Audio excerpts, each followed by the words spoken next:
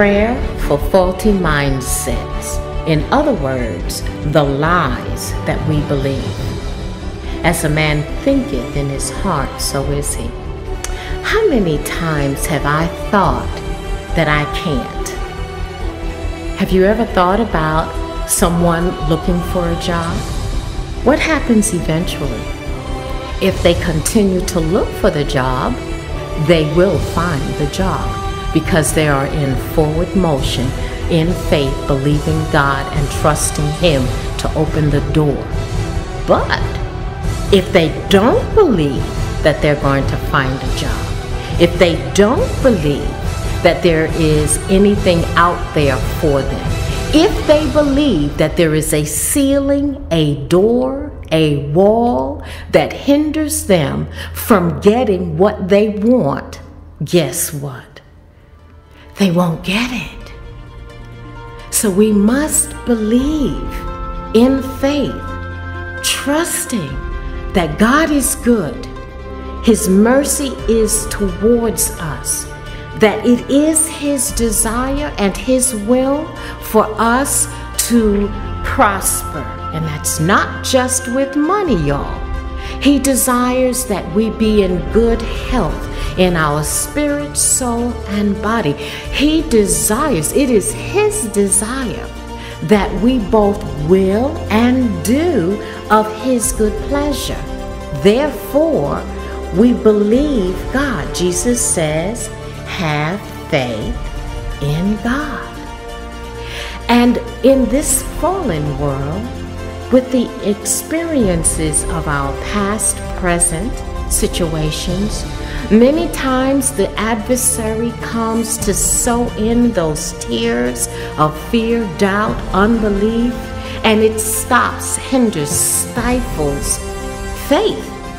And without faith, it's impossible to please God. Without faith, we're not able to stand in the authority Jesus gave us and say to the mountain, remove, and say to the door, open, and say to the demonic spirits, I bind you in the name of Jesus. If we don't believe, just believe. Woman, your faith has made you whole. Be it unto thee according to your faith. It is what you think it is what you believe in your heart that caused you to confess out of your mouth Jesus. You believed it. Your mindset changed from dark to light, from unbelief to faith. And so I'd like to pray this prayer concerning faulty mindsets. Lord Jesus, let your voice be heard over any old ways of responding and reacting to shock and trauma, fear and terror, and every natural circumstance that my brother and sister find themselves in.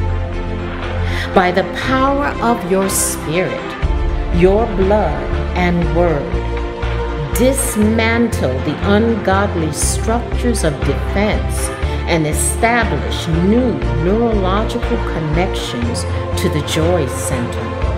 Rebuild within your people new godly structures of defense based on your scripture. Lord, we trust in you and uh, having a true understanding of their spiritual authority as a daughter and son of the Most High God. We bring into subjection every thought that would exalt itself against the knowledge of Christ.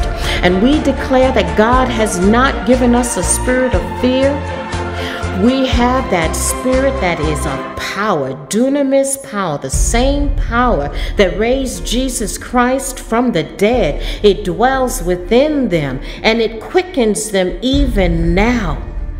Oh, the spirit of love, perfect love that casts out all fear, love that never fails, and a sound mind. It is regulated in syncopation, Lord, with your heart, with your mind, with your thoughts, with your word.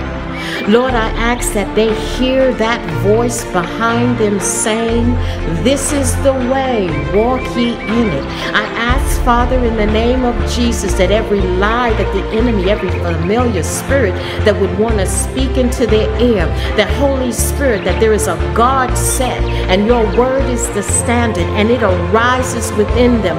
And even as Jesus dealt with Satan in the wilderness, they will say out of their mouth, It is written. And they'll still the tongue of the enemy and they'll walk free. Develop within them, Lord God, an attitude and a mindset of faith. Faith in you and all that you have for them because you live in them, Emmanuel. And you desire for them to grow into manifested sons of God, filled with faith, courage, and determination to win. In Jesus' name, amen.